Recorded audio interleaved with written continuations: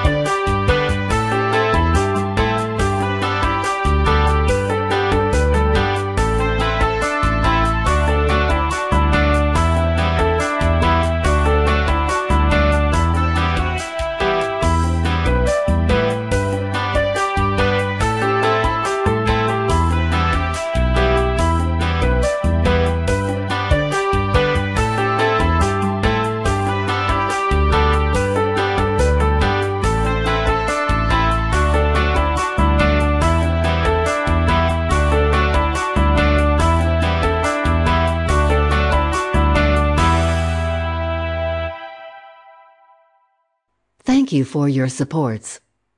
Please subscribe, share, comment, or like to get more lessons.